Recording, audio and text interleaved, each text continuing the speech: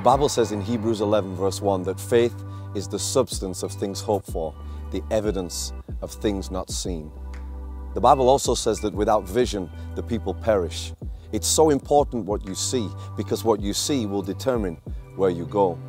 The Bible speaks about the blind leading the blind. They both fall into the ditch. In the Gospel of Mark, chapter 8, verse 22, the Bible says that Jesus enters a place called Bethsaida.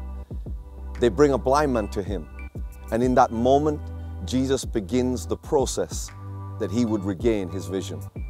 What was it about Bethsaida? Jesus leads the blind man. He doesn't speak to him. He takes him by the hand and leads him outside of Bethsaida. He repositioned him in order for him to regain his sight. What was it about Bethsaida? This is a powerful revelation because the Bible says that Jesus spoke over Bethsaida and he said, If the miracles which were done in you would have been done in Tyre and Sidon, they would have repented in sackcloth and ashes. Bethsaida represented unbelief. They saw the power of God, but they would not repent. And because of that, they were in unbelief. Could it be that Bethsaida was blocking this man from receiving his miracle?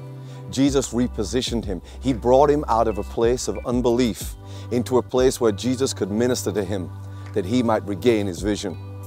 Could it be that God is trying to reposition you? He's calling you to come out of unbelief in order for you to see what he has for your life. Jesus was leading the blind man out of his unbelief in order that he would reposition him to regain his vision, to see Jesus like he'd never seen him before.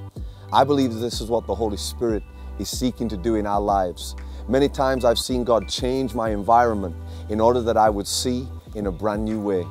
Remember, when you follow Jesus, we walk by faith and not by sight.